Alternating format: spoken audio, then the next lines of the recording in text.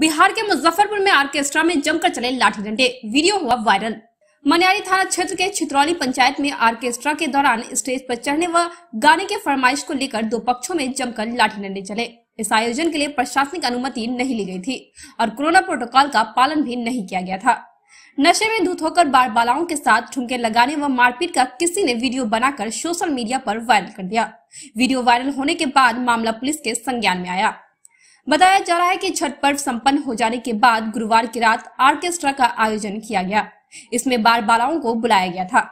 भोजपुरी गीत संगीत की धुन पर बार बाला स्टेज पर ठुमके लगा रही थी। इसी बीच नशे में दूध कुछ युवक स्टेज पर चढ़ गए और गाने की फरमाइश करने लगे। मंच के नीचे खड़े कुछ युवकों ने इसका विरोध किया और सभी को स्टेज से उतरने को कहा।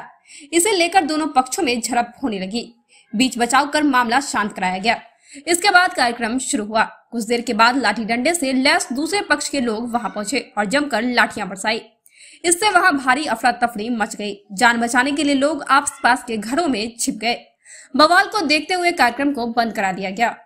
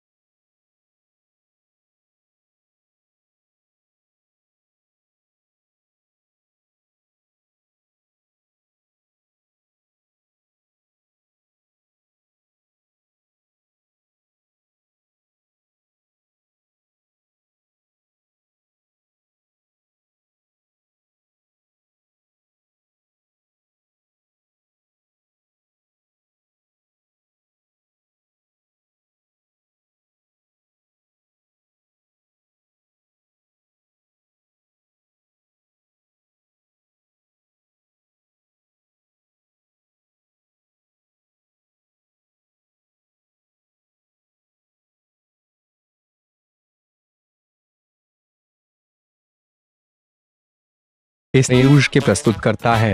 City centre the complete multi brand menswear showroom Subhash Chowk Darbhanga.